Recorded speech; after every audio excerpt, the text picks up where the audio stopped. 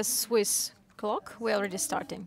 So today, upon the initiative of Mazar company, Arzinger, Global Compact in Ukraine, and the National Bank of Ukraine, we got together to understand what ESG is and how Ukrainian business should include that in its strategic activities and in which way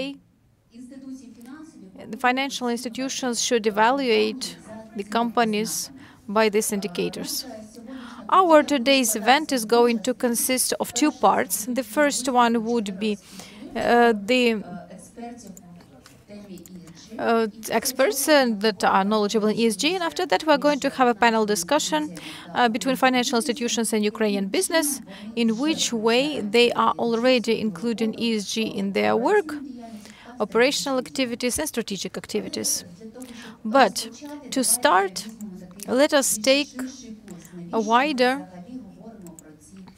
uh, where we're actually talking about ESG. This month we had the biggest uh, climate event in the world, uh, namely COP26 in Glasgow, and we all saw ambitious statements made by developed countries as well as developing countries.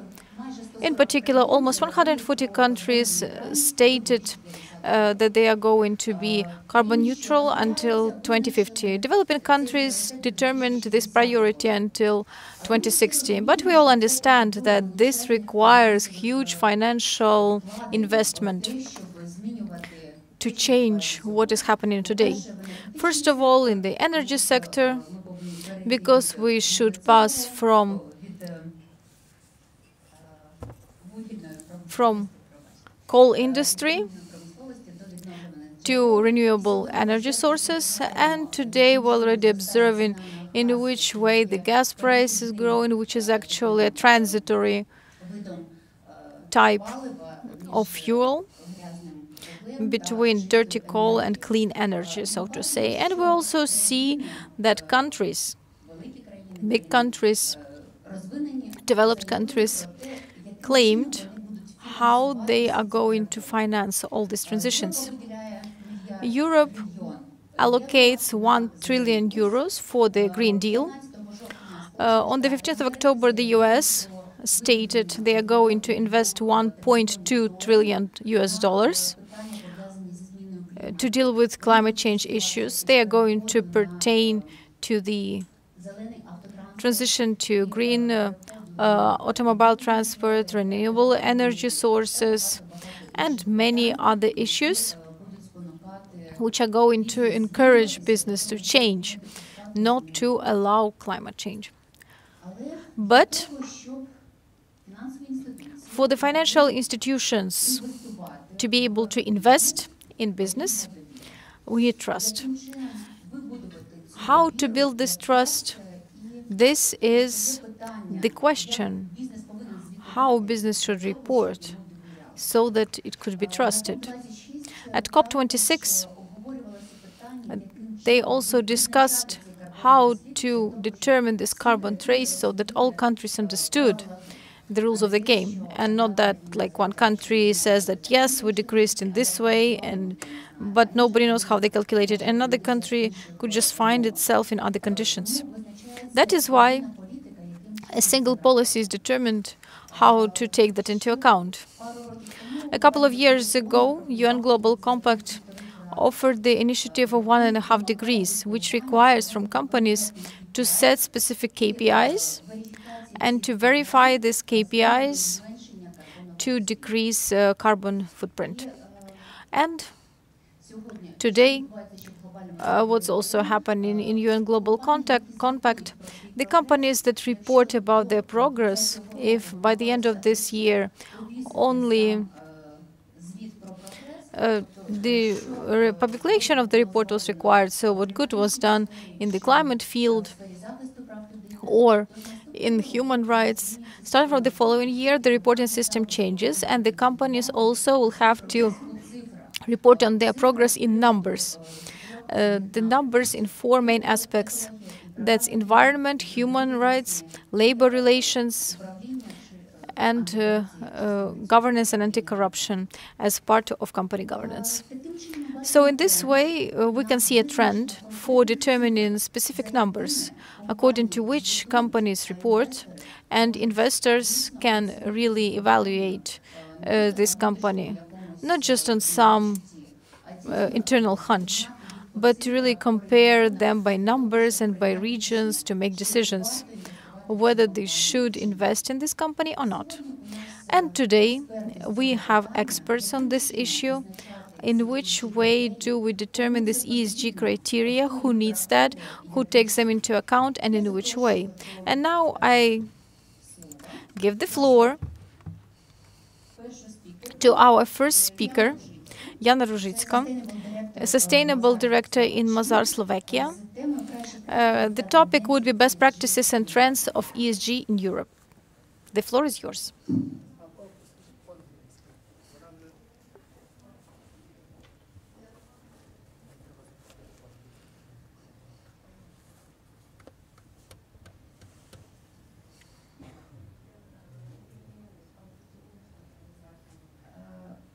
Jana Ružická, could you please join us? Uh,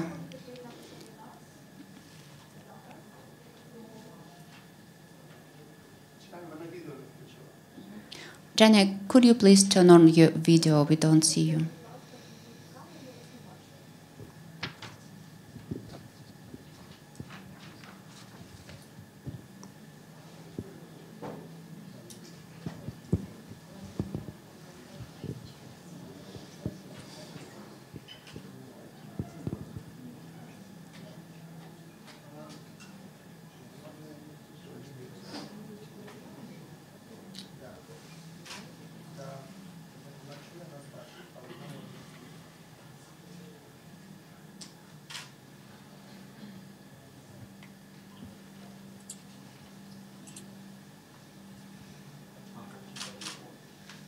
Hi.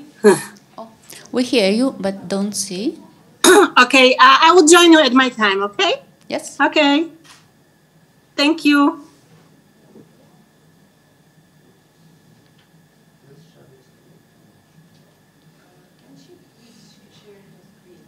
Uh, Jana, could you please share your screen? We still don't see you.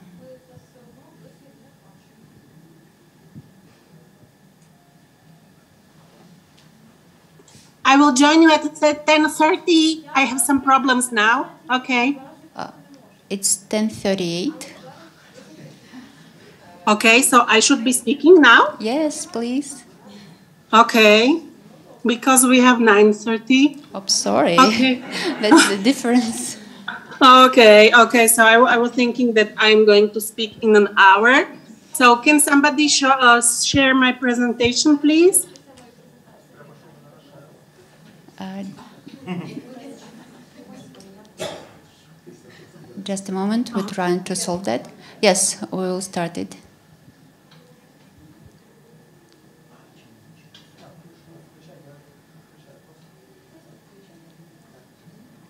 Uh, it's on the screen. You may start. Okay, super. Okay. So, hi everyone. So, mm, I would like to speak today about the drivers of uh, ESG. For years, investors had to choose between sustainable values or performance, but not anymore. Now, sustainable investing is paying off. That means that sustainable investing is uh, getting more popularity, also because of the new generation uh, because these young people are more socially and environmentally con- conscious than their parents. Government is another uh, driver of ESG because they are establishing a CSR policy framework and they are driving CSR. Um, and uh, it's mainly because they need corporation to address so, so, socio-economic challenges such as poverty, climate change, and others. Um, also, European Union now, now uh, will uh, ask corporation with more than 500 employees to report their sustainability annually uh, according to the special framework which is currently developed. Uh, please, next slide. Uh, so um, another another group are consumers. Uh, that means that uh, that uh, uh, they they are more willing to buy um, sustainability produced products. they are more aware of the of the issues companies are facing and they're actually voting with their wallets and consumer power. Uh, many many surveys show that uh, consumers are actually uh, willing to pay more uh, for for sustainable products.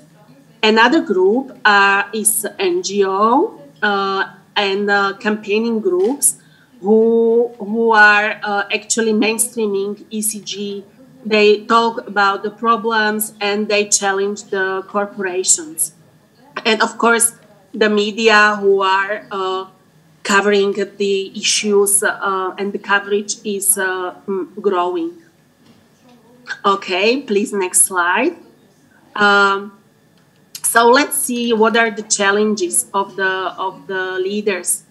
Uh, while uh, sustainability uh, uh, as part of the core business model continues to be key to sustainability leadership.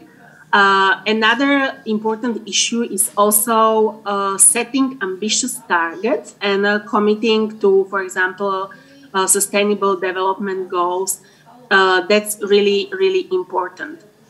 Um, as we confront a global pandemic and economic hardship, also the social engagement, human rights, and health uh, is becoming uh, increasingly important. Uh, let's have a look how, when we said that integrating the ESG into the core business model is very important, let's see some examples. what, how does it look like? So, uh, for example, food uh, food um, company can educate its customers uh, to limit use of meat in order to lower CO2 emissions. Uh, the finance industry is creating more products and services related to ESG. Uh, we talk also that ESG supports innovations.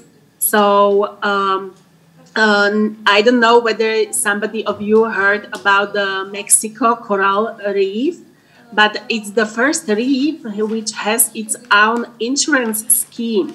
It's uh, linked uh, to uh, uh preservation of the reefs, um, and the payouts uh, uh, are paid in case of disasters. So hotels and private companies are actually. Um, uh, understanding that corals are bringing uh, revenues and are also working as a natural break against destructive storms and hurricanes. Another uh, important side of uh, leadership is setting ambitious uh, targets. Mm, it's not longer enough for companies to reduce their environmental impact with uh, objectives uh, uh, with objectives that are self-set. so, for example, companies are giving incentives to the employees when the, the sustainability targets of the companies are met. Or another uh, very good examples how to set um, uh, good uh, objectives regarding the climate change is that uh, you um, you consult with the organizations uh, to help you to to set the targets which are aligned with uh, the um, global goal that uh, the the global warming will be not more than 1.5 Celsius degrees. importance um, let's uh, have a look on the issues, um, how global leaders, uh, what issues are important for them. So you can see on the slide that uh, on the graph um, that uh, the importance of um, climate change and biodiversity loss is uh, steadily increasing over the last decade. Uh, it's uh, the blue line uh, showing the climate change, um, with 95% uh, of respondents saying that it's a very, very urgent uh, challenge. You see the blue line. In the wake of the global pandemic and economic recession, concern about the poverty and uh, access to health care are also increasingly seen as very urgent. Success of a business um, is also dependent on trust. Please, uh, another slide. A trust is a key asset for, for any transaction or relationship. Uh, reporting uh, ESG data can help you to address uh, uh, address the trust gap that exists between current financial reporting and uh, and um, your stakeholders' expectations. While they were only 20% of Standard & Poor uh, 500 uh, companies reporting in uh, 2011, currently it's over 90%. So we can see the growing trend. Uh, we also see the rising trust in sustainability reporting around the world which will be uh, even growing once uh, a third party audit will be mandatory in the EU. So it means that all uh, ESG reports, um, which will be published by the companies, will have to be audited by a, third party. Okay, uh, please, uh, another slide. Uh, so, last but not least, it's of course, important to be transparent, listen uh, to your stakeholders about their expectation, and uh, be ambitious. It's uh, really important to remember that um, ESG-led business approach is not intended to replace a focus on profit. It's a rather a complementary addition to the company business, and uh, it should increase the likelihood of higher prof- profitability in the in the long term. Okay, so that's it. Good luck uh, with the responsible business, and um, I'll be um, curious about some questions if there are any. Uh, thank you very you, much. Thank, thank, you. Thank you very much for your presentation. It was great to see the examples of uh, E S and G, how the companies uh, could uh, put them into their strategies. Uh, thank you for those examples. Um, are there any questions to the speaker from the audience? If there are no questions, then we are moving to the following. Uh, that's Małgorzata Pek-Kocik, who is a partner, an audit partner in Poland, and the topic of her presentation is how ESG creates material benefits when auditing financial players.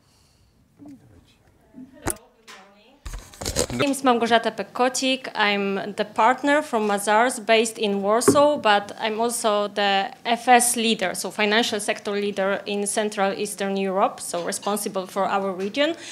I'm also the global FS advisory co-leader, so I'm covering uh, uh, the global scale of Mazars internship uh, of Mazars uh, organization.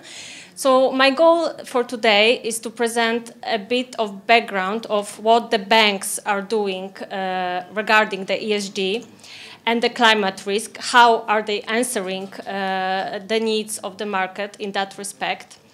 And uh, to, to start with this topic, oh, sorry, uh, we need to start a bit with the background in, in Europe, the, the, the largest driver, the, uh, the strongest driver of changes in the ESG uh, area for banks is actually the European Commission. So the European Commission uh, defined what is the sustainable finance. Sustainable finance is the term that is very important uh, uh, for banks. It refers to the process of taking ESG considerations, ESG factors, in the process of making investment decisions in the financial sector. So making the financial decisions, it's at the heart of the financial institutions, uh, of course. And uh, the European Commission believes that sustainable finance has a key role to play in delivering the policy objectives that we were mentioning even today, uh, uh, the policy object objectives under the Euro European Green Deal, and all the international commitments made in Europe. So the most important is, of course, that Europe is supposed to be the first um, continent that will become climate neutral by 2050. There is another commitment to decrease the carbon emission by 55% by 2030, so over the next decade in comparison to uh, 1990. So all of these are very ambitious goals. And uh, European Commission believes that the banks are supposed to help it, so supposed to deliver this uh, strategy. Why? Because uh, this kind of uh, ambitious goals, they require a lot, a lot of sum of money. Uh, European Commission calculated that it requires 350 billion euro every year just to uh, meet the goal about the carbon emission, another 130 uh, billion uh, uh, euro for other ESG goals. So it means that the public aid will not be sufficient, right? So the, uh, uh, so the European Commission believes that uh, these are the banks and the private investors that should support and lead the change in the ESG for the more sustainable economy. So although the banks do not contribute themselves to carbon emission, not so much, uh, they have the key role to, pray, to play to redirect the flows of cash flows to uh, more sustainable uh, activities. And uh, this aim, it requires a lot of changes in the, in the processes of the banks, in the investment decisions, in the loan granting policies, and these changes are happening now. Uh, so what is the, uh, uh, how does it work in practice? Of course, the, the banks are doing it differently. It depends whether the, uh, the bank is green or not. It depends on the strategy of a given bank. There are banks that uh, in, they have the sustainability factor embedded in the, their strategy, so even the strategy is focused around the sustainability there are, let's say, the BNP, BBVA, ING, so really like the go, uh, global players in Europe that are ranked top in any ratings about sustainability. And uh, what those kind of banks are doing, first of all, they are making the decision about reducing the exposures toward high-risk industries. In Poland, uh, it's one by one bank, at least the private bank, that are declaring that they will stop uh, to finance the uh, coal, uh, coal mining industries. but this decision, it doesn't need to mean that the, the financing will stop immediately. It can be done like, there will be like gradual deduction of the exposure. There might be like lowered, uh, reduced maturity of the projects, reduced limits for financing, so different measures taken to reduce the exposures for brown uh, and high-risk industries. On the opposite, there's increasing volume of uh, green financing, uh, especially contributing to the change in the energy sources, right? Uh, uh, we mentioned the, uh, the, the, deduction of CO2 emissions, so this is actually the, the main thing, and the typical green investment around this topic are the solar collectors, uh, the photovoltaic panels, the heat pumps. So these are the, like the top uh, investments done in Europe, in Poland as well by the banks that are, uh, that are invested, uh, that are uh, financed by the banks, of course. But also not only these, these are um, these are investments done by the SMEs, but also the retail clients. they can get an eco loan for very simple stuff like household appliances, like the Eco wash machine, laundry machine, the LED lighting, very simple solution that can change our world as well. Uh, very popular are the mortgage loans for uh, energy efficient houses among uh, retail uh, clients or the eco leasing for hybrid cars, electric, uh, electric cars. The banks create the investment funds to, to invest um, re resources in, in those kind of uh, undertakings that are beneficial to the nature. And very famous recent uh, trend among the banks are the sustainability-linked loans. So these are not the loans that are focused about the, uh, the investment itself that being financed. It's focused more about the debtor and the KPIs for the debtor. So the debtor receives the KPIs negotiated with the bank, and depending whether he meets these goals, let's say about the carbon emission or water uh, usage, something like that, uh, this KPI uh, affects the interest uh, margin, right? So the, the parameters of the loan are depending on meeting the KPIs. Uh, and uh, the sustainability linked loans, it's not something that is forced by law. Uh, it's done voluntarily by banks, and banks are trying to push this kind of solutions because they want to be seen as more green banks, like with the green strategy. They want to act for the whole society. Well, not by coincidence, we say that banks are the public interest entities, so they need to act for the public interest. Uh, and the very last slide is uh, I prepared because uh, last week I had a uh, discussion with one of the CEO of the banks, and he actually recommended me this app, Electricity Map, uh, which presents the countries and how much the electricity, the electricity consumption creates the carbon intensity, right? So this is carbon intensity of electricity consumption. And the discussion was about how much is still to be done, or actually how much is to be done uh, in Europe. And as you can see, uh, on the left, there is a map of Europe with the green countries in the western part and more brown and dark brown in the eastern part. Actually, Poland is a really bad example uh, with the coal mining uh, energy. Uh, Ukraine is better because of nuclear energy used, but this is also because for this purpose of this uh, app, nuclear energy is treated as sustainable. Mm, but uh, you probably know that there is a discussion around whether nuclear should be classified as sustainable or not, and this is actually discussed right now uh, by the European Commission uh, for the delegated act on EU taxonomy. So we need to see how it's going to finalize uh, the discussion also for the Ukraine and other countries that are focusing on the nuclear energy as well. So that's it. Thank you very much.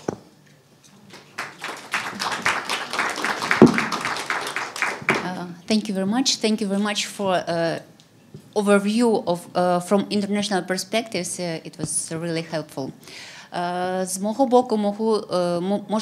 from my side, I may say that if we have investment component in the business activity, then, as we say in Ukraine, it is very easy to work with the companies. They understand immediately why global agreement why ESG strategy, why they should do it. And this is rather easy. If they do not understand this component, investment component, when somebody demands from them to implement ESG um, indicators, then that would be much more uh, complicated. And I agree with Małgorzata then financial that financial institutions this is the driver that makes company to uh, take this ESG strategy. So we've already discussed this international background uh, speaking of ESG financing. Now I would like to invite our next speaker. Uh, this is Yaroslav Cheker, counselor in Arzinger company. He will be speaking about ESG in Ukraine and Asian mining sectors. Uh. Uh, so, uh, as all of you know, uh, there was recently a UN climate uh, conference in Glasgow, and Ukraine uh, promised to phase out of coal and coal energy production by 2035. So we'll see how that is going to be implemented as uh, now we are still not a part of ENTSO-E, the European Energy Network, and coal energy basically plays a balancing role in our energy uh, network, energy sector, and thus still remains crucial uh, and unavoidable for now. Ukraine uh, also with um, DTEK uh, became a part of the past coal power initiative was invited to, to join the industry transition initiative and negotiated with EBRD that by 2025 the financing for ecological or environmental projects will be increased by 50%. Uh, I also would like to, uh, to say a couple of words about our energy companies and their ESG before uh, turning your eyes to EITI uh, initiative in extracting industries. So uh, Ukraine is supporting the green energy as of now via the mechanism of the green tariff. And I guess all of you heard about the success of green bonds emission by Ukrenergo and their successful placement whereupon uh, 825 million euros were raised, and these uh, resources were basically used to repay the green energy producers for the historical debts uh, of March to July 2020.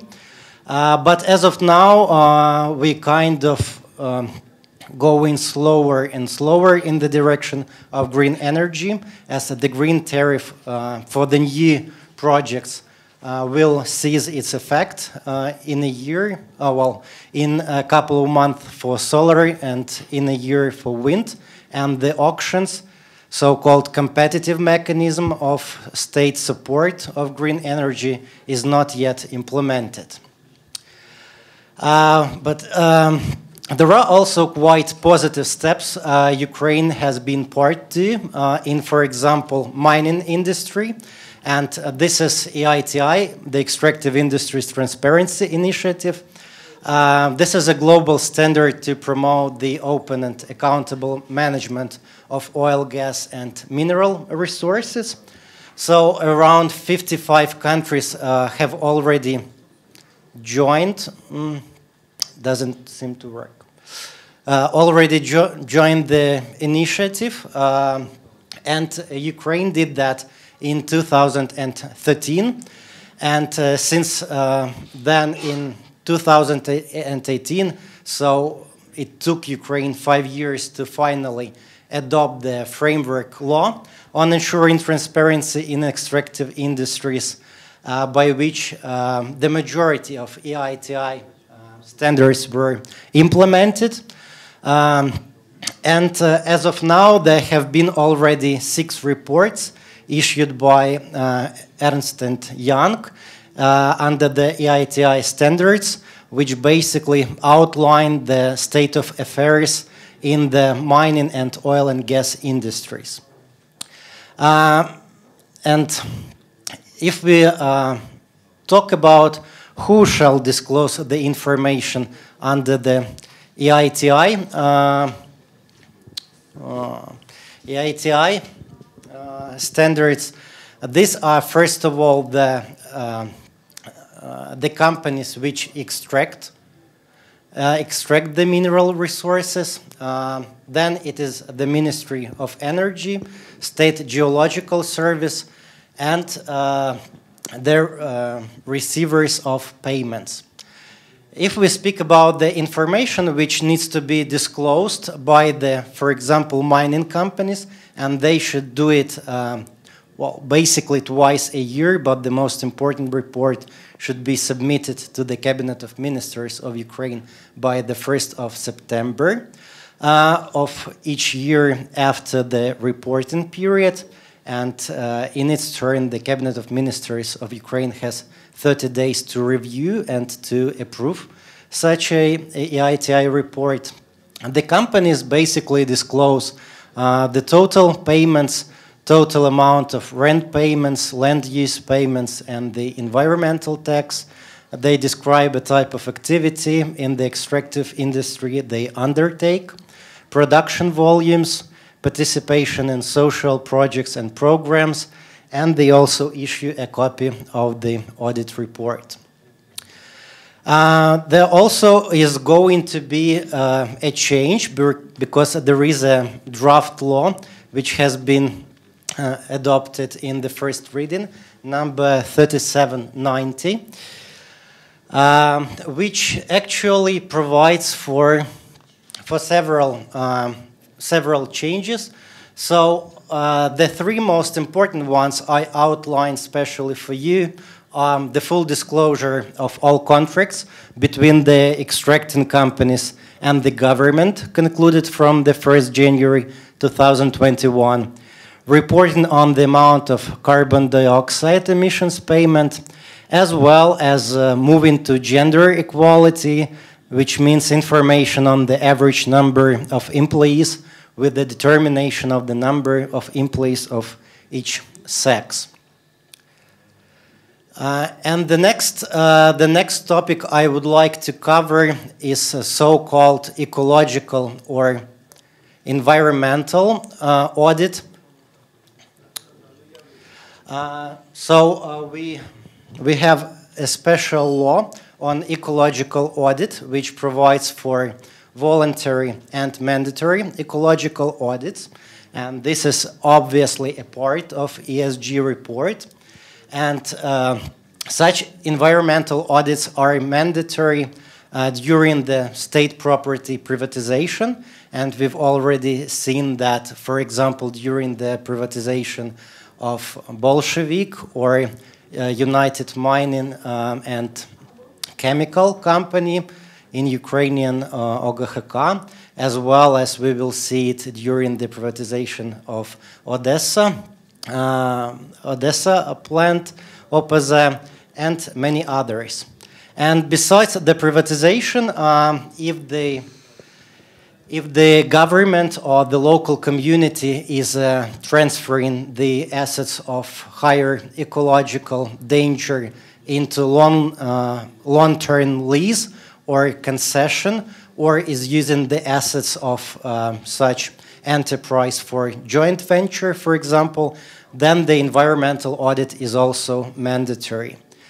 Um, and uh, the last probably interesting thing, the environmental audit also is uh, mandatory when the production sharing agreement expires. As you may have uh, heard, Ukraine has recently signed, uh, well, first eight PSAs during the first round in oil and gas industry, and now two PSAs with the Slovak company EPH, uh, or Czech company as well. Uh, and so since uh, these PSAs uh, basically um, basically envisage uh, that uh, they will last for quite a long period of time, up to 50 years. And the, uh, the winners of these uh, auctions, um, the extracting companies, uh, committing to, to invest, um, well, hundreds of millions of dollars after the PSA term expires. They will also uh, be commanded to provide such an environmental audit on how their activities impacted the local communities they're situated in and the entire uh, environment of Ukraine. Thank you for your attention and I will be happy to answer uh, your questions if any. Thanks. Дякую, Ярослава. Дякую за Thank you, Yaroslav. Thanks for such a great overview of Ukrainian legislation and amendments there too. I think that this is what uh, we have in for us in the nearest future, and it is great to be aware of it beforehand. We have talked about international trends, about Ukrainian legislative trend, and now uh, I would like to invite our following speaker, Arsen Makarchuk, Director for Strategy Department um, in National Bank of Ukraine. His topic is uh, National Bank of Ukraine policy on sustainable finance and development until 2025. It's very interesting to see how Ukraine is going to move in this direction. Uh, good morning. Uh, today I represent uh, the central bank. Uh, yes, the green finance is now very relevant. Uh, probably we should start from the overview uh, provided by Małgorzata. Uh, but yes, uh, тема в принципі переходу. Uh, but still, the topic for to move to sustainable economy development for carbon neutral economy is raised all over the world, and this is not new. we'll have to remember our even the Kyoto Protocol, which was signed in the 1990s. They are still relevant. Uh, but now we also have a UN agenda until 2030, the Paris Agreement of 2015, and the European Green Deal. These are the landmarks that uh, uh, the governments uh, are going to look up to, as well as supranational organizations and uh, also other subjects in the issues of economic development. Of course, we shouldn't underestimate the role uh, of economic transition to carbon neutrality, and the green financing is an issue there, and the role that central banks play to develop green financing as such. Uh, presently, this issue is uh, very actively discussed by international financial organizations and regulators. Uh, this topic becomes uh, uh, a priority for International Monetary Fund, uh, uh, the World Bank, EBRD. It is also actually reviewed by BIS and European Central Bank. Like, for example, climate and environmental challenges become the reason for uh, and they have been recognized by European Central Bank as two main risk factors for the future. And according to BIS evaluation, it is uh, uh, ESG risks that are a source of systemic financial risks and can become the reason for the following global financial crisis. Uh, international organization uh, like uh, NGFS uh, directly points to that in repeating the conclusions that actually now, today, the world is at the bifurcation point, and it is on the efforts of governments and central banks, as well as economic agents. It is clear uh, how it depends whether we are going to make a choice uh, until 2050 to switch to a zero uh, impact economies or until to, 2100 we might get global warming three degrees more than normal with all the negative consequences of such event. Actually, as I already said, the new reality forces central banks to be more proactive and adapt their regulations, envisage the development of financial tools, which are to minimize the impact of uh, climate risks. And according to the data I mean, this, this topic is also very promising from the point of financing needs, which we see. Uh, according to the data of International Financial Corporation, IFC, until 2030, uh, climate investment are going to require finance in the volume of about 23 trillion dollars, and Ukraine's requirements in this case are no less than 73 billion US dollars to ensure those obligations which Ukraine has taken up, which are necessary also for transition to carbon neutral economy in the framework of uh, uh, uh, until 2060. The National Bank also actively moves in this direction. The topic is now very relevant. Uh, actually, uh, every, uh, this week we conduct uh, dialogues with the countries. We develop our own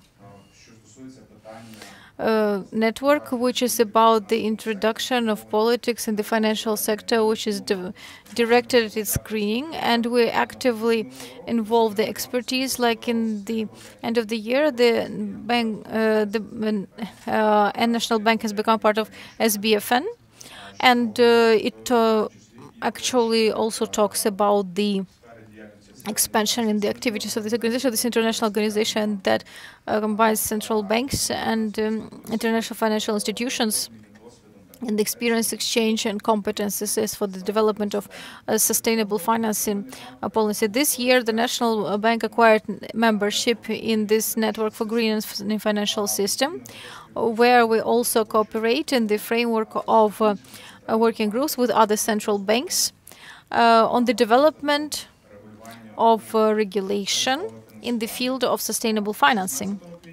On the 15th of April this year, we signed a cooperation agreement with the International Financial Corporation, which is a part of the World Bank. And in the framework of this agreement, we are working on implementation of a green financing policy. The first result of this agreement was developed and presented last week, uh, last Thursday, the policy on development of sustainable financing until 2025.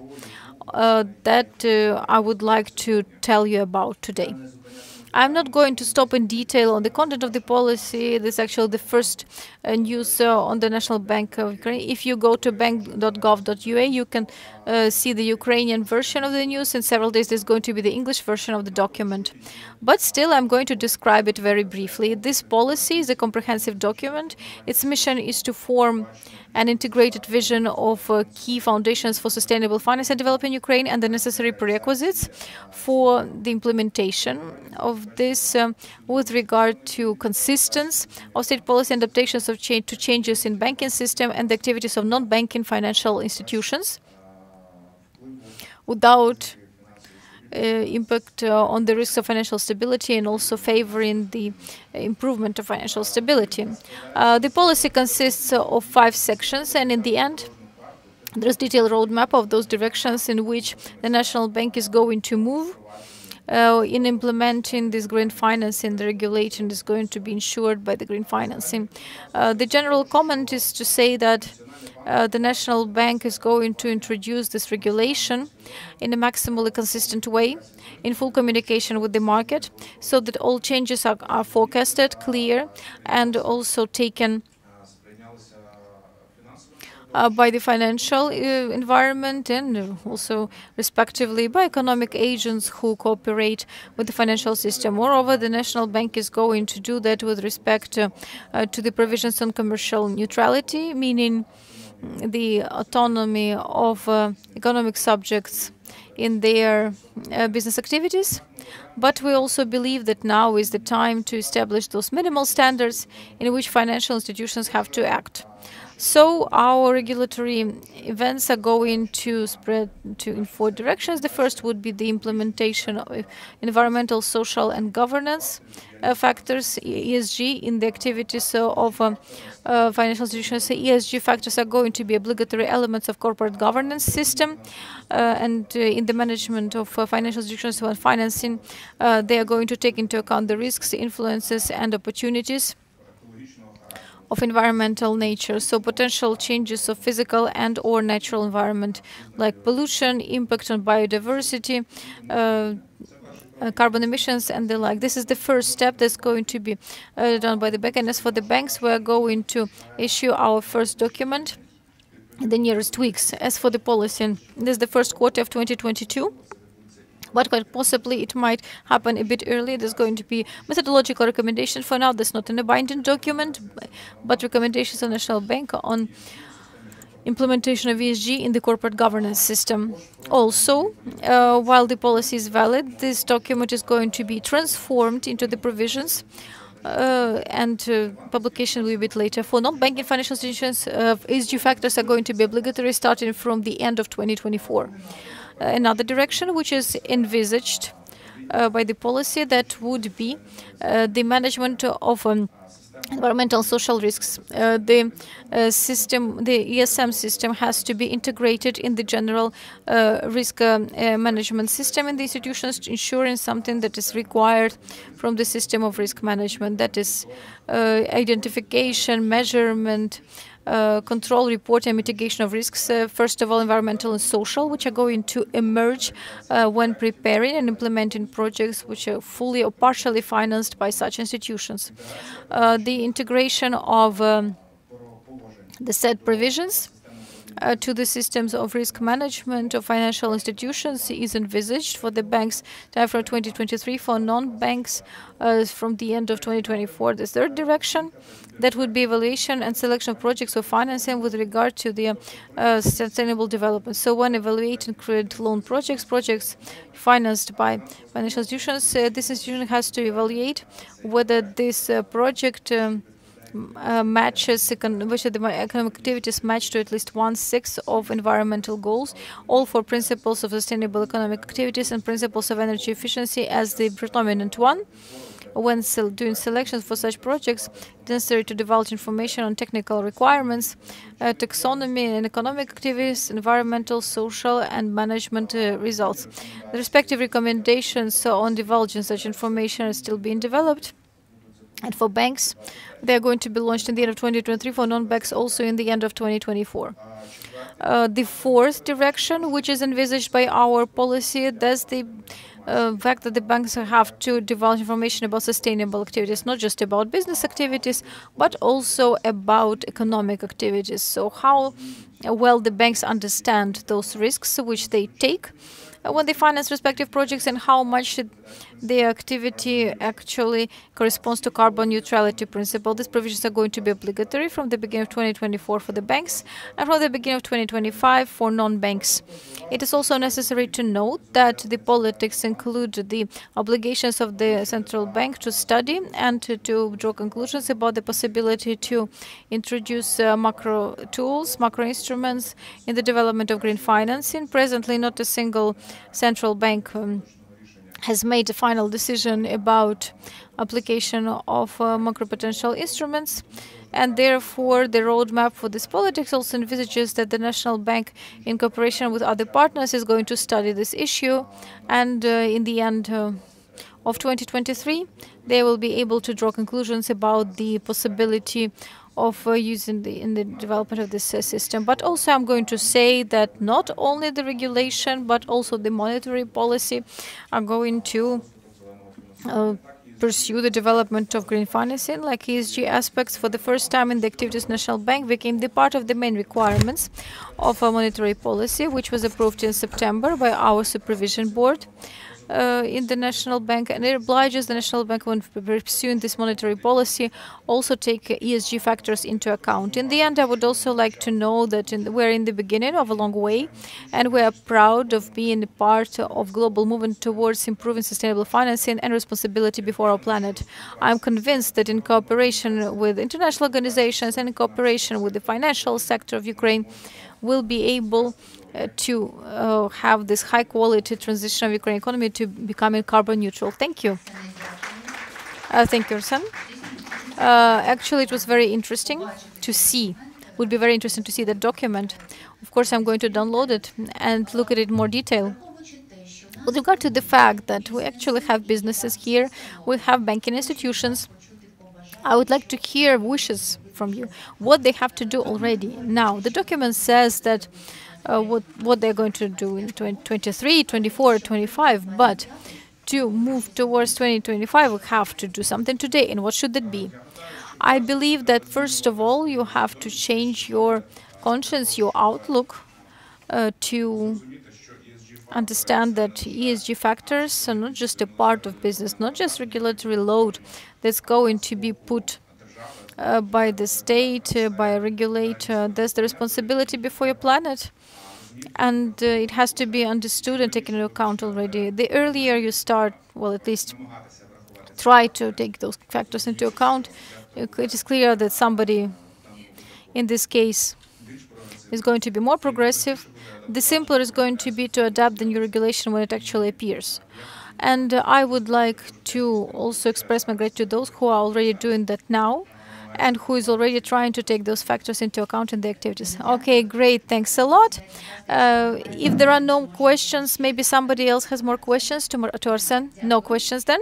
Okay, and then we're moving to our following part of the event. Uh, today we have a panel discussion with those who, who are already progressive, those who already uh, have things to share. And I invite Ruslan Spivak, uh, who is from Raiffeisenbank Aval, uh, Olena Korobkova, exe Executive Director of the National Association of Banks of Ukraine, uh, Małgorzata Pek-Kocik, who is a noted partner in Mazars in Poland, uh, Oksana Sesova, who is Head of Department for Corporate Finance in DTEK, and also Lena Voloshina, who is the Head of uh, International Financial Corporation Activities. Thanks for coming to us today. I'll sit between. Uh, some uh, questions. What's going to be in for Ukraine from the point of Green Deal that we have joined and also from the point of finance that we can count on? Uh, Olena, probably this is going to be the first question for you. At COP26 in Glasgow, they were saying that developed countries are to be they have to finance country, developing countries, and every year they should allocate over 100 billion dollars for such countries. Is there any information what that means for Ukraine, and can we count on any funds at all? And if we can, what of these funds can be spent and for what?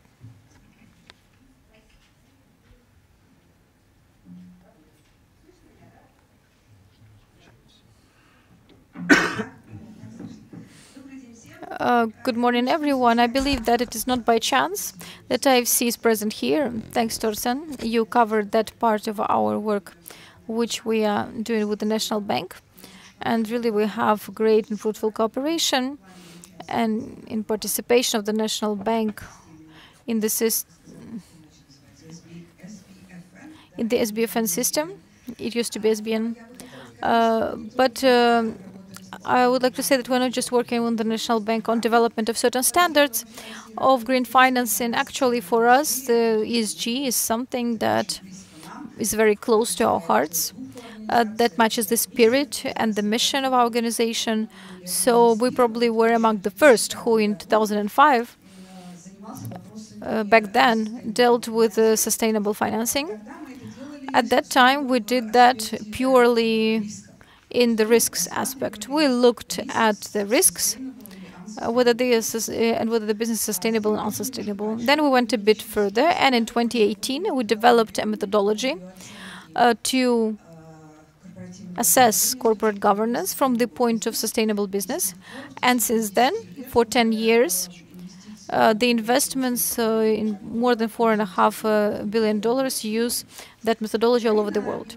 Ukraine is lagging behind a little. Now I'll move to Ukraine, and uh, we are now working jointly with the Equities Commission. We developed a code of corporate governance. This is not in a binding document again. This uh, this is a document that could be used by the companies which believe themselves leading or they would like to become that. In this code, uh, we are now preparing some amendments to that, uh, which are going to deal with ESG specifically. Uh, it's going to develop uh, the so-called scorecard, which is going to help the companies to look at themselves from a side and will help them to correctly reflect the issues of um, uh, sustainable development in their financial reports. So answering your question whether we can count on uh, a lot of trillion dollars uh, which are available, we can actually just sit and wait for this money to arrive, or we can do our homework. And what the National Bank does, it actually does its homework. What the Equities Commission does, it does its homework. What uh, Ukrainian business is starting to do now, uh, leading companies which claim that they are going to be carbon neutral uh, by 2025 or by 2030, uh, the main thing is that the companies are starting to walk that way. And IFC, as um, um, a finance institution which invested during the last year, 10 years into climate project over 9 billion of its own funds and attracted 4.5 billion more from other sources.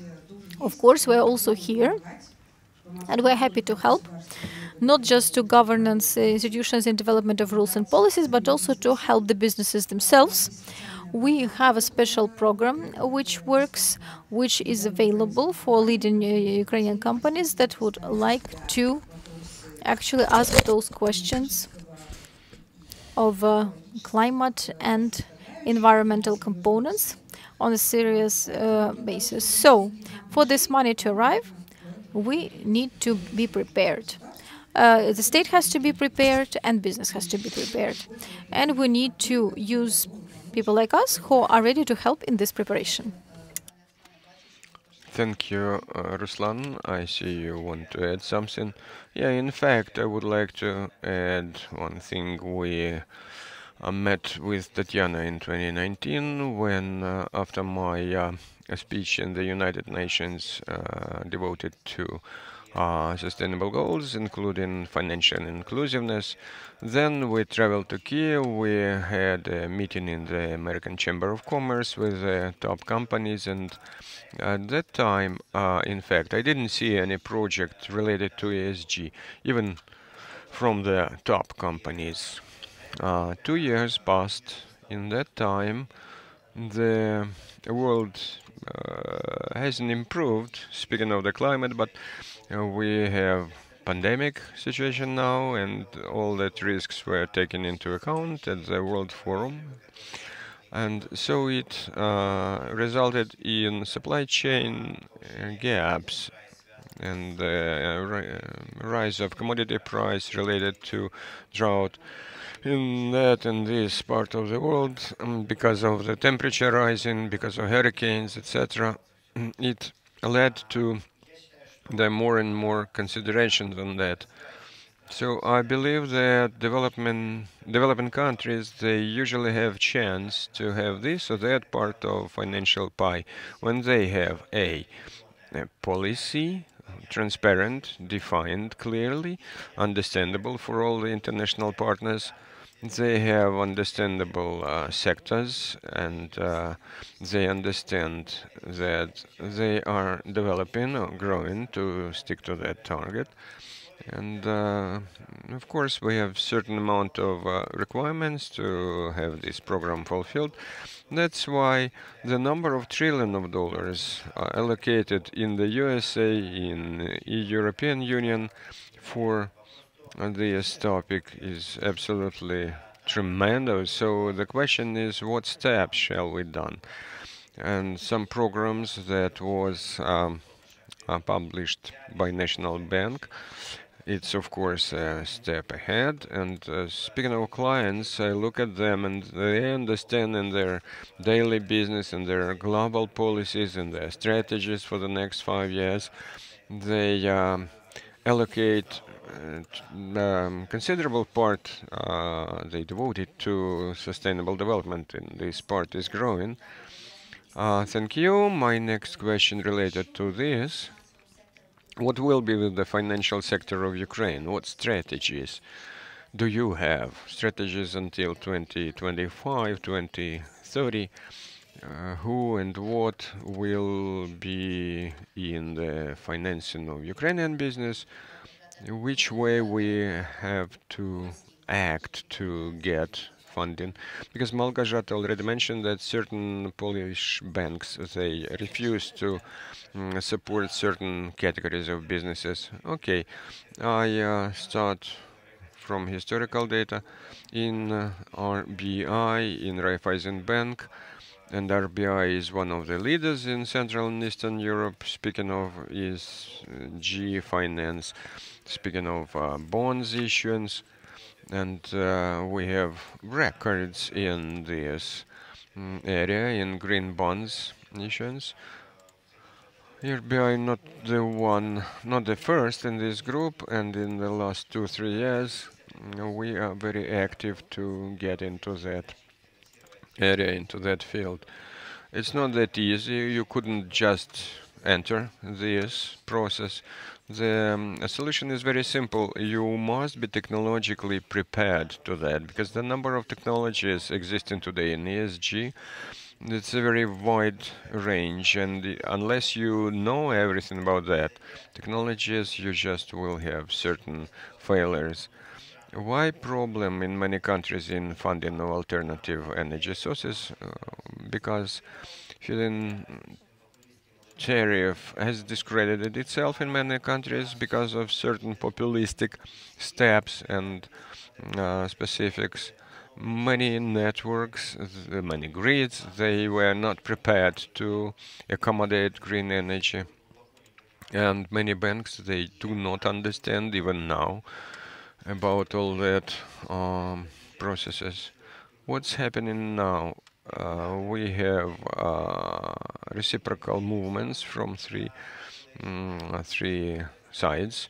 regulators they set their rules and each and every country uh, make alignments to the frameworks dictated by regulators every structure develops esg framework for themselves develops certain specific requirements so and if esg SPOCI they make push in development of that policy unless all the uh, business lines in financial policy has the ESG uh, push, then nothing happens. Ukraine, within this year, in Raiffeisen Bank, we have very clear understanding that we must have ESG KPI, uh, telling us that a certain amount of loans um, issued should uh, cover ESG finance. We have coal thermal policy, and coal thermal policy says that the majority of banking groups all around the world until 2013 stop financing companies with a uh, considerable part in their activity taken by uh, coal uh, production. So unless we have this, we'll have certain. We will be to a certain extent standing alone, and we won't survive in that uh, environment. That's why banks they will do, and in Europe uh, the process already started. Fund transferred price for green finance, and the rates will be uh, lower they probably won't be considerably lower because the hryvnia is not that well standing now, but nevertheless, um, certain uplift I expect in this. What is the undercover problem here? The technical assistance, and uh, in this aspect, the great deal of that travels to uh, FI it is very important that energy audit and similar tests and analytics uh, dealing with this so that technologies to become more massive or more penetrative. Uh, we had nice policy, we had free of charge energy audits, but it was the beginning of uh, alternative energy era. Uh, in one day today, banks will not be able to uh, gather all the expertise in that. We need to have technical assistance because now we have a lot of biogas, biomass projects, waste management, gas um, processing from the storages, etc. All the topics are crucial for Ukraine today, but to evaluate this technology, to understand that this technology is better than with this company than the technology of two, three other companies, is very difficult. And I understand that this will influence economy tremendously. In order for that to be effective and to make this as a framework and to understand that two, three brands tractors, for instance, big companies, they have a great impact to Ukrainian economy. But we must have crucial steps for that companies. Again, it is very important the agriculture business because agriculture business today makes great impact to mm, the development and agro understand it now as one of the major effect and this agro emits a great amount of CO2 as well. So we must understand the proper path and taking into account that agricultural sector is near, responsible for nearly 50% for the loans issued. Uh, this is one of the uh, sectors where we must concentrate our efforts to transform it technologically. In parallel with that production, unfortunately in Ukraine the production historically is not very well um, uh, within last years. 370 billion dollars it is the required investments to a green sector. So we are speaking about 30 40 percent mm, of that will be the client's uh, own uh, uh, impact in that then we'll understand the money. So the future is great in this. May I say a couple of words about financial sector. In fact, if we are speaking about ECG, ESG, then the banking sector is one of the first in Ukraine started not only speaking actively but implementing that. We're speaking about investment uh, attractiveness of businesses, those that are actively promoting and actively implementing the ESG requirements and the uh, entities that disclose information on that, they will be head of the process. I would like to say what banks do in order to have benefits for their clients that not only thinking in that direction but do something in that direction. There are not many of such companies. Uh, scarcely you could find them in Ukraine. And if you say uh, have banks in one hand as creditors, on the other hand you will have clients as borrowers, then the gap between the ESG implementation is very large. You means banks are ahead of the process and the creditors they lag behind. And if we try to understand the financial situation or financial health of borrower, to what extent he is credi credible.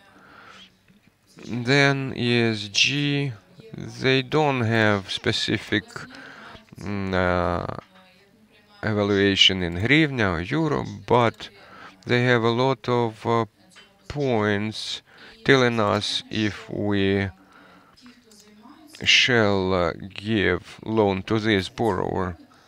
And of course, the people that implement in all those requirements, they could calculate as well, or they could rely on a lower interest rate on that loans. But this work is very uh, complicated and we don't have many experts in the banks that could realistically evaluate or understand all that risks, uh, risks of bankruptcy as well. As well, I would like to say that there are a lot of, uh, from the HR point of view, to consider ESG in, not only in banking sector, but in general sense. If any person is an expert in its uh, area of activity and he is not only interested in earning money. We're speaking about high income persons.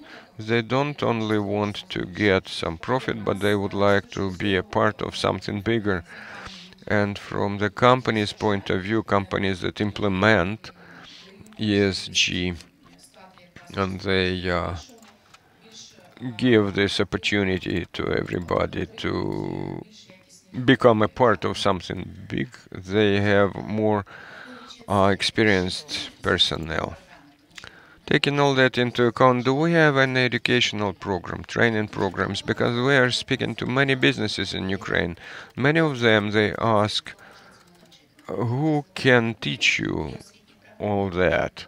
For instance, in global um, agreement, we have certain educational programs, but they are dealing with sustainable development. Do we have any special training programs in banking sector for the clients to understand the requirements of banks?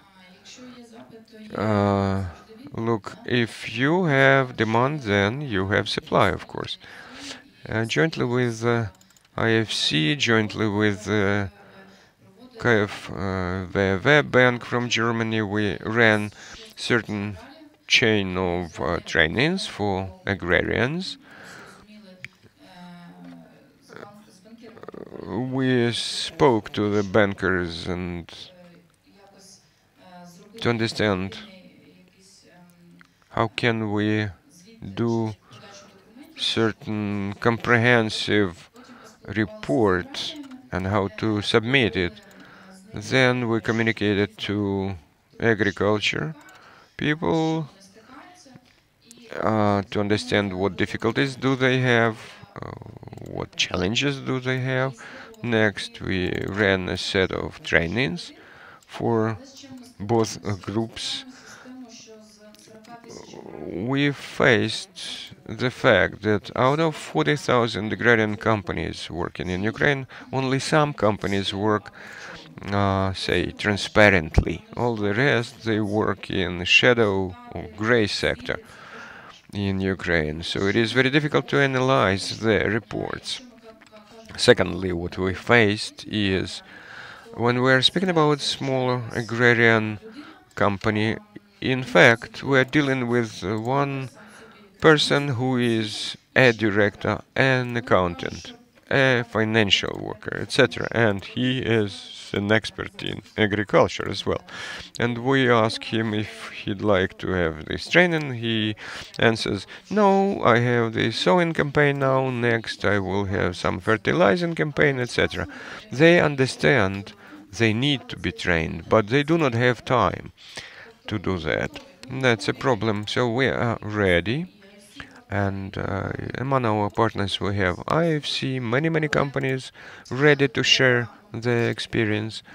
But uh, speaking about Ukrainian mentality, we must slowly but surely educate people that they must do this. And in the beginning of alternative energy sources development in 2016, uh, we developed a educational program. We had two consultants in the energy sector, couple of lawyers, several banking experts, and we mm, uh, established a system of business launches, uh, business breakfasts. So we traveled around Ukrainian cities, cities millionaires. So it wasn't an exercise in advertising.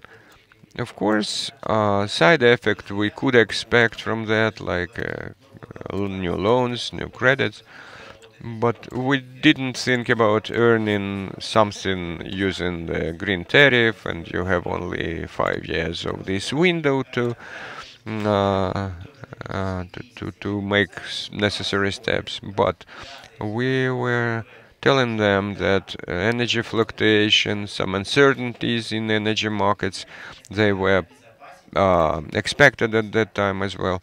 We tried to give them some knowledge and it worked nicely because awareness of client in one at least technology and I uh, felt it in my client's audience uh, it was very positive. As well we are speaking about consolidation of efforts uh, jointly with IFC with um, National Bank of Ukraine with other companies with auditors. We start making this kind of umbrella centers centers of competence and meet people, share experience with them, speak to them, uh, to say nothing about the small businesses. That area is absolute problem. They don't think about that. But this smaller part as well, it the, the influence is smaller of that mm, uh, SME companies. So we must start cascading, and we're speaking about culture to change culture in uh, the companies we are building up. And we start from the top management. You should change their mindset, and we understand the mm, uh, say seriousness of the question, the importance of that. So we start with the key players, next with top businesses, and as soon as um, top business works with ESG um, considerations, then we could go down and down to the smaller companies. So potentially it could be 40,000 legal entities and uh, entrepreneurs in this country. They will speak, they will say us, we won't take your products if this is not in line with our requirements. We will not buy your products from your fields change your machinery because uh, the emissions great mm, uh, from that uh, outdated machines etc just buy something newer, something greener, etc. So it will be our cascade program. So in uh, past years, we understand that the top management already have this clear understanding, and this is our homework for 2022. I totally agree with you. Our global office has long been talking about the supply chain, and with our business, we start to, at least to start talking about this topic, how big business can encourage the suppliers like small and medium business to also be included in the implementation of sustainable development strategy, including the uh, actually the ESG in their work. And now, uh, then the question to you, Magdalena. Chain um, in your business in Poland and what are the best practices? Uh, I know that my colleagues from Global Compact uh, Poland uh, work a lot on uh, Green Deal uh, initiatives. Uh, they unite businesses, they discuss different topics like green hydro hydrogen, battery storage, etc., etc., and they're extremely busy to find the best innovative um, cases which are able to get uh, those uh, financial support from Green Deal uh, budget. could you please share if you have some best example, examples from that sphere? And what do you think about requirements to supply chain? how big businesses should report on their supply chain on ESG? Mm-hmm. Okay, so I think uh, first of all, we are all facing the problem uh, with the talents, like you mentioned. Uh, so, uh, and in uh, when you even when you think uh, about the, all conferences that are organized right now in the finances or any business conferences, ESG is the first, the most important topic, maybe next to the digitalization for the banks. So uh, I think ESG is on the agenda of everyone, at least from the finance perspective, maybe not too much from the business perspective yet, right?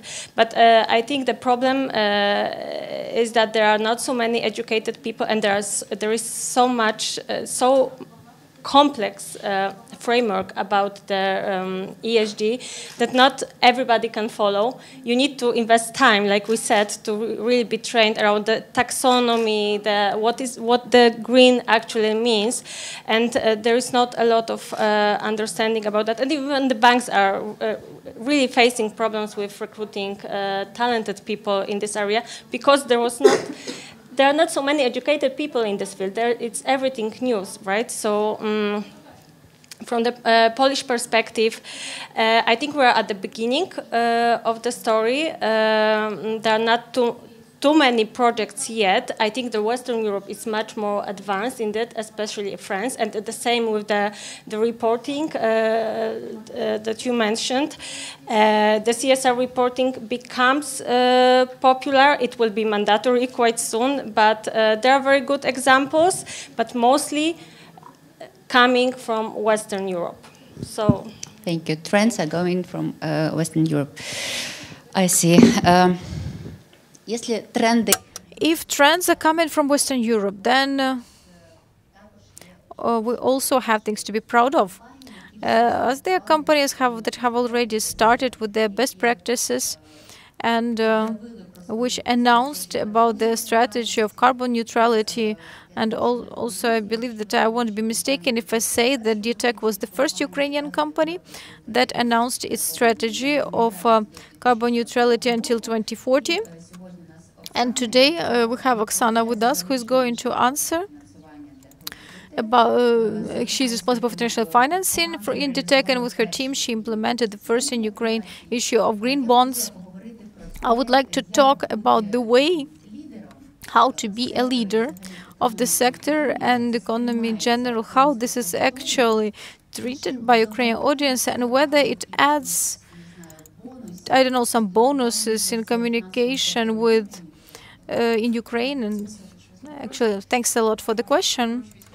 First of all, I would like to talk a little bit from afar. Before we actually announced our strategy on carbon neutrality in uh, 2019, we're actually the first company in Ukraine that implemented ESG politics. And uh, starting from 2019, actually, we managed to do a lot in this direction and uh, also include our, our rating. So in 2019 it was 29.9, and we managed to improve it by three points. And now the ranking is 26.6. That's actually a very good result. Also, uh, taking account that we were actually the company that actually does the coal generation and has been very uh, actively developing and the renewable energy sources.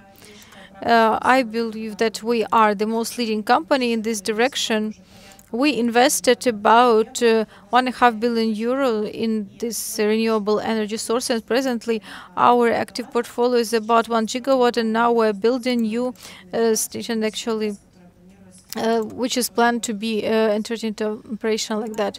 Apart from that, uh, also we are we were also the first one to announce carbon neutrality strategy in 2020. But here, I have to know that it's very important. So it's not just you know marketing slogan, how they call it, you know, greenwashing. So the company, first of all, could really show its activities and could implement the events because the banks first of all they evaluate not just word they evaluate the uh, indicators and factors and we are actually moving in that direction but here uh, it is also good to know the problems. Many colleagues were saying that the banks to issue the financing of ESG criteria, even today, uh, they are actually among the main drivers to become eligible, to, so acceptable for the banks to actually get that financing.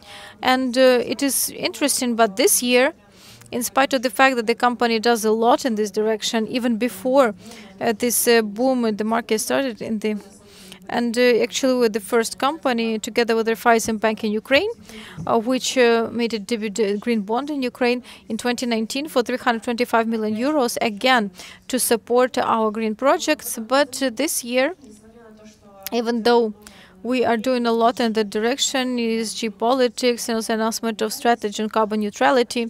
Still, the politics of banks, in my opinion, that's probably the question that I would like to discuss, uh, is uh, rather strict and rigid. It can be different from bank to the bank, but still this year we faced uh, actually, Ruslan, you first of all. Uh, the politics actually sounds so rigid that it limits the deadline when the company should achieve that carbon neutrality. In Raiffeisen, I think this is the politics of 2030. DTEK, that's like, as also I see that is a coal generation, even though we actually we have the share of green is 10%. Uh, by 2030, uh, the share of green is going to to increase and uh, and actually, we're growing in this, this transition period uh, because in business there is uh, coal generation, so I also need from the bank some kind of support so that there is this uh, period. And actually it's required to do it here and now and actually just uh, it's just impossible in the reality of our country. And here probably as they said to have this prudent policy about that and understand that the company really invests and moves in that direction. And this year we faced a problem that even if you come with green projects to the banks, building those, you know, uh, wind or solar plants, the company also actively invests in the innovation products like energy saving systems that you actually mentioned. We actually made a very small uh, pilot project there, and now we're upscaling. So it would be great for the policy to be adapted to the reality of the business, even though for myself, I mean, it was really surprising from the point of the bank to only move from this from this uh, project and actually which is directed uh, carbon decarbonization there are some refusals.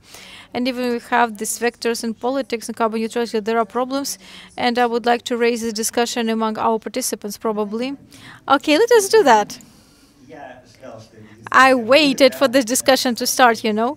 But actually I really respect the position of the company because the company, I mean, I've been following this company for a long while, and the uh, activities can only uh, are just so sort as always, you know, the banks.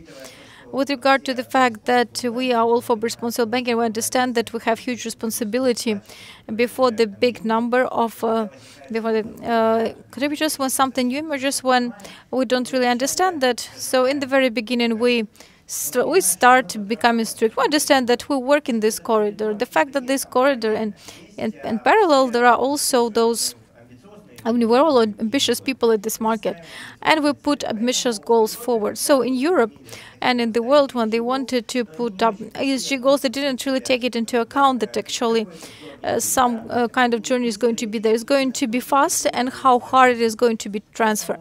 So that is why I'm going to say the following: banks mostly, as they look in each other windows and say, like, when are you're going to do that, and nobody wants to be, let's say, less ambitious than the others. So on average, if we look at banking groups, that's really 2030. I'm saying that with all responsibility because I saw the strategy of top 30 European global groups, which on average uh, from 2027 to 2033, they move to uh, uh, uh, this is actually the analogy that is clearly visible, like a COVID playbook. When the pandemic emerged, a lot of industries uh, found themselves in the red zone. This became clear because everybody said there's going to be lots of defaults, there was stress tests, they did it, okay. And then there were three or four months and they, okay, stop, we were too strict and this percentage into industry, they can actually move to that. And this process lasts until uh, today. No. So in the beginning, no. Uh, actually this is going to be the position of most financial institutions, then they're going to see. Let's look at the latest uh, Glasgow meeting, let's say. So they have lots of, uh, they have lots of caveats. So the discussion that we had, like, uh, but actually the politics uh, of China, Russia, the U.S. It says that this is necessary because if big players are unable, then small would be unable even more. The same is going to happen here. I think that in 2022, banks will be able to work at politics so much to actually improve this business opportunity, especially for the companies which have external financing, which are not from Ukraine, not which is not from Ukraine. Because if we look at it, I see, believe that all this trend that I would totally agree with our Polish policy. The trend moves from the West. The companies that today have access to finance in the West, they are going to be the first one to change their policies, uh, get their rankings, and so on. But actually, all the other banking groups they would just be the fast followers of this politics. So in 2022, I'm sure that is going to change. As for the renewable energy project, just believe me, if not for periodic changes in the course as for the green tariff, uh, this market would be tens of times bigger. And they wouldn't be cons uh, concerned about concentration, oligarchs, and all the stupid things that they are trying to uh, put on us to actually hide the main topic. Because we want, and whether we are ready, that the number of the amount of energy produced in Ukraine restored is not 5 or 6 percent, not 2 percent, not 5 to 7 percent, but it's 20, 30 and more. If we want to have that, what are we doing for that? Because if the networks are 90% worn out. If the green tariff changes once every several years, then the credibility of these projects from the point of the banks, and not even credibility, but predictability, is uh, very low. We have to understand what the payback is, what would be the ROI of these resources, what is the payback of technologies, because if in Europe, in zero rates, actually, everybody's going to be fine if, in case of some challenges and the client, like for the fifth or seventh year, they would just extend it for up to 15 or 20 years of payback. For some technologies, it even achieves 30. Uh, they are totally comfortable in all that because if you look at 30-year papers from U.S., Germany, it's all clear there. So that is why we have we don't have the predictability like that. It is important for us to understand that there is this. Uh, tariff, it is preserved in this period. It uh, provides this uplift for money, the additional gross income for the client, and then we give the money for that. But unfortunately, 90% of the projects of the green energy in the last several years, due to these turbulences of the green tariff, are financed only when there is additional cash flow available. Why? The agriculture does not because they have different strong. Why do the big companies do it? Because they have diversified business like DTEK, which allows to cover uh, using additional cash flow those risky projects which are associated with the green energy, where there is some indefinities from the point of green tariff. So that's the key thing. But in my discussions with the clients, I call them not to count on those revenues, but instead look into the future. If before, uh, like in now, we had this competence ahead that we based on this experience we built, the, but now we have to base it on the future and build this uh, the present, because the technological thing, which actually um, it's it is so fast that the technologies actually are changing so fast that we are not even doing that. And actually, those technologies that were that are now as proposed and already tested in China and Japan, when this whole this different form is used and it covers and it takes up much more wind. When, for example, the solar batteries use totally different efficiency, uh, for that, all this actually understand that. So it is important for the client to understand what to do. First of all, to cover themselves and to cover the region they work in. This is what I often work on now, clients. I say, okay, you just provide for yourselves, and it's surely going to help you. Because the problems of switch offs, or the price growth for power and all that, everybody understands where the trend is going to. And uh, even if you look at that, of course, we're not in the bottom, even though we're saying that the price is on the peak, but still it is very high. And uh, to provide for ourselves so that there is a sustainable development, it is necessary for those investments to be not based on green tariff, uh, but their own need. And that's what we're going to work on. Uh, and uh, as a final answer to that question, I think in 2022, for sure the politicians would get a better way out. So thanks. You can actually be the speaker from DTEK. Actually, I speak at your academy from time to time, and the number of questions of different companies of the group which are about ESG, actually it makes me uh, it expresses me, and uh, that's great. And it's with great respect that really, yes, thanks. Uh, Manuel Volpe is actually our rather outrageous Italian who is the head of the innovation department in DTEK. So apart from uh, that, we look at uh, we look at alternative sources like clean tech. We look at hydrogen.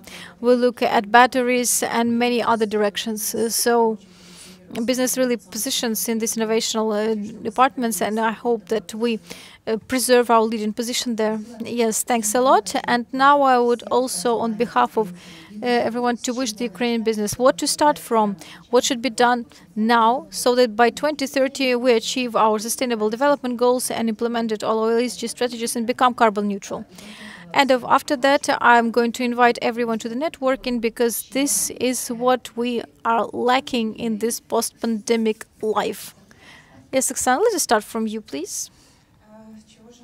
So, what our wishes? Well, probably listen to our children because the driver of all those events, that's them.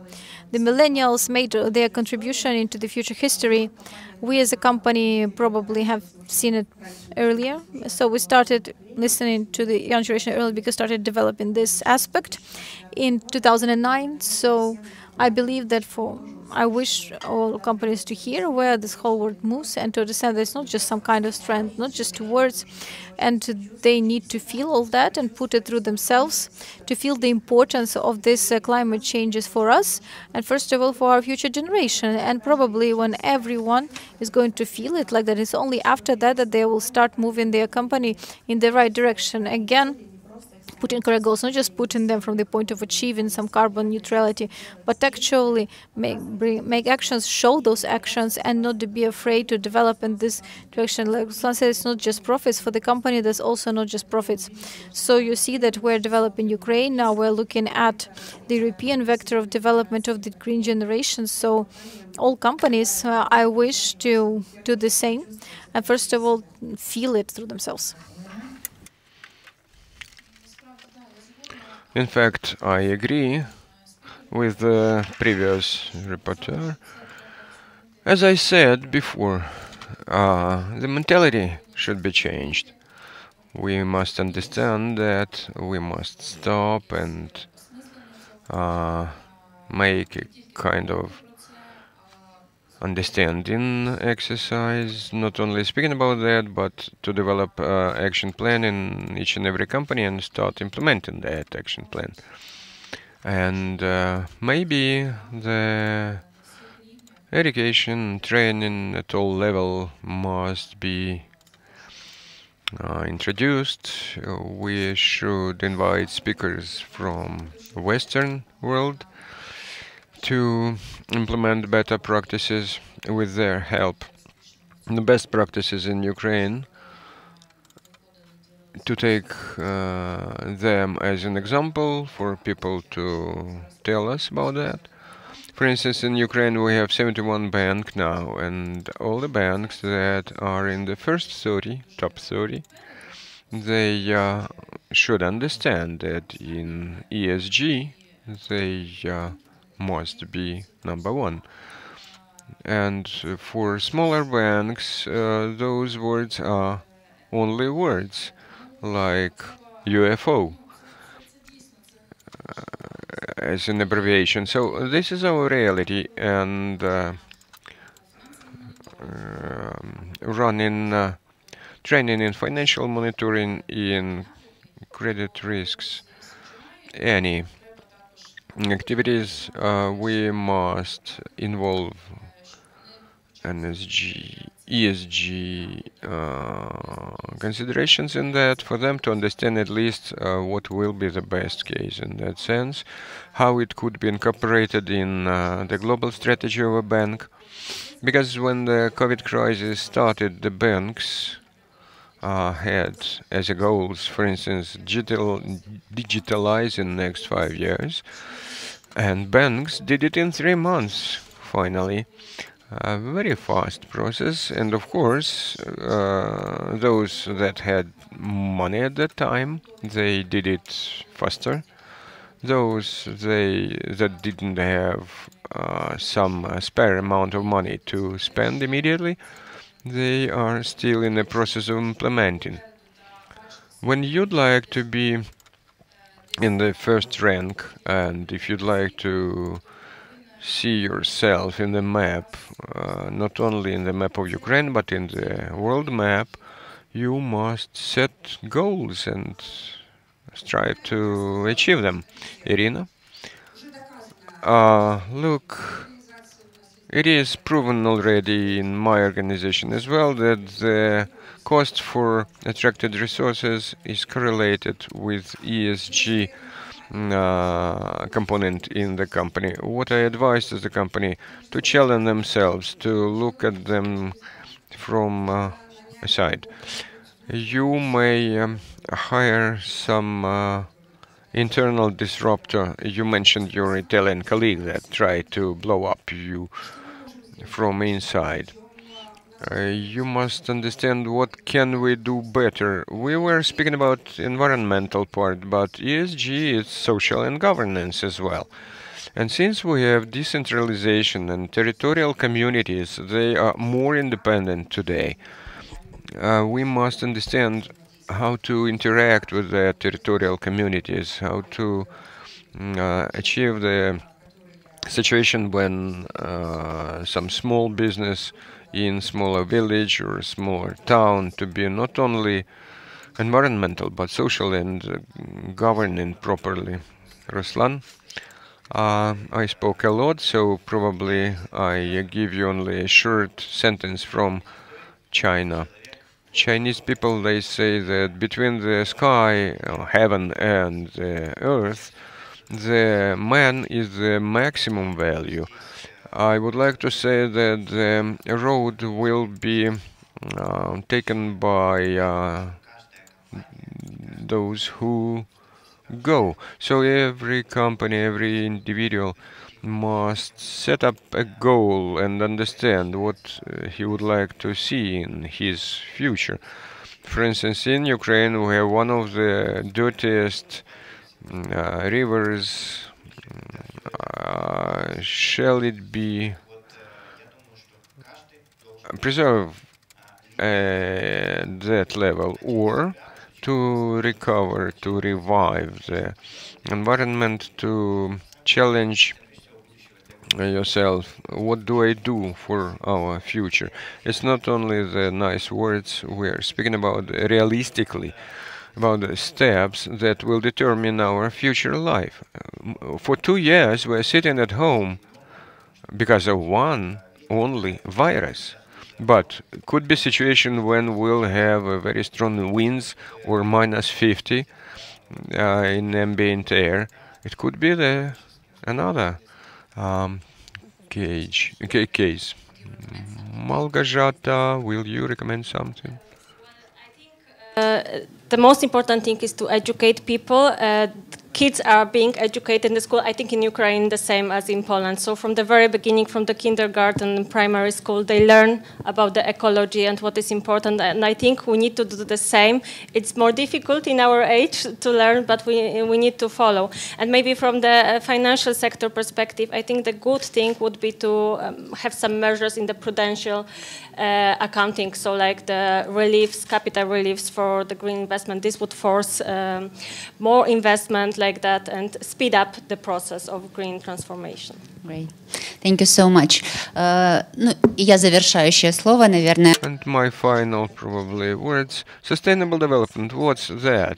This is the way the business is being run when the resources will be spared for the next generations. That's why I'd like that Ukrainian business to start or to continue acting towards the sustainable development goals. Uh, for our children and grandchildren to have something in this planet and something in this economy. So let us develop sustainable financing in Ukraine, and I invite everybody to have a networking in that back part of this hall. Thank you.